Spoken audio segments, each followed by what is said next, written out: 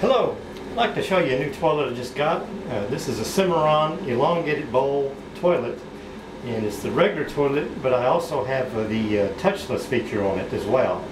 And the uh, uh, they come out with they came out with this touchless toilet uh, a couple months ago and it didn't have the manual flush option on it on the bowl on the bowl so I went ahead and bought the the regular toilet that has the manual flush and I installed a a touchless kit on it on it as well. So so uh, got it rigged up where it will flush either manually with a with a handle or with a touchless. And really like this toilet. Uh, I'd like to show you a demonstration on how it works here. And uh, let's see, we'll pull it up. See, it's 26 and, uh, 16 and a half inches high.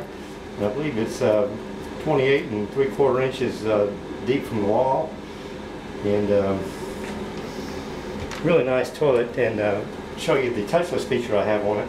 Just run your hand across here and flush.